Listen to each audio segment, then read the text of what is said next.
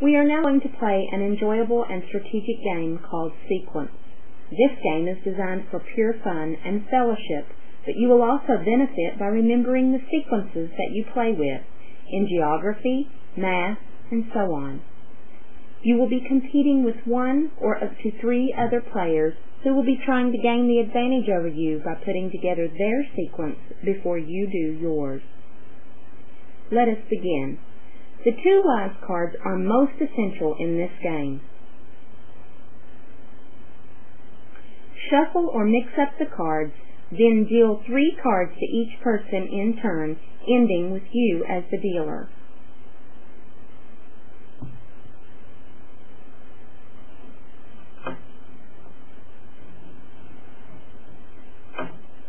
Place the pack in the middle of the table or desk. Now all players can take up their cards and look at them. Your mission is to build a sequence of cards numbered 1 to 13 in one color before one of your competitors do. The player who was dealt the first card, player 1, starts the game by picking up a card from the draw pile. He seeks to start his sequence as close to the middle of 1 and 13 as possible an example is number 7. However, he or she can start with any card he or she wishes. It is not a good idea to start with a number like 13 or 1, or even 2 or 12, because then you will soon get blocked on one end and be forced to build in only one direction. At each player's turn, he or she starts by simply placing the card chosen to begin their sequence with face upward on the table next to them where everyone can see it. As each player chooses to start, he does the same thing but with a different color card. Two persons cannot build the same color sequence.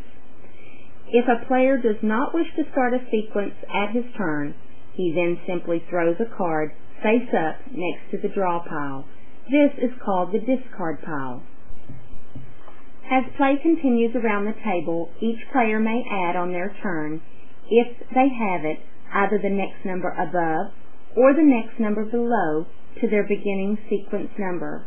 For example, if player 1 laid a number 7, it would be either card 8 or 6. You always pick up first before doing anything else in the game. You can also only add one card at a time on each turn that you play. As in the game of pairs, you will also recycle the discarded cards by turning them over when the main deck empties.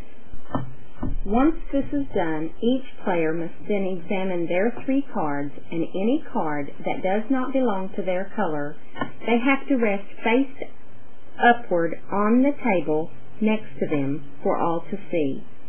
If, as the game goes on, you notice that someone has your card in their possession, then you may challenge the person for your card. To challenge, you must draw a card from the deck and not look at it, but give it to the person that you are challenging by placing it on the table face down in front of that person and saying, I'll challenge you. At this point, the person being challenged picks up the card the challenger placed in front of him and also the card the challenger is hoping to obtain. The challenged player mixes the two cards up out of the view of the challenger, perhaps under the table, and he must allow the challenger to pick from one of the two cards from his hand. Only the card laid face down by the challenger and the card the challenger is hoping to obtain is available for choosing.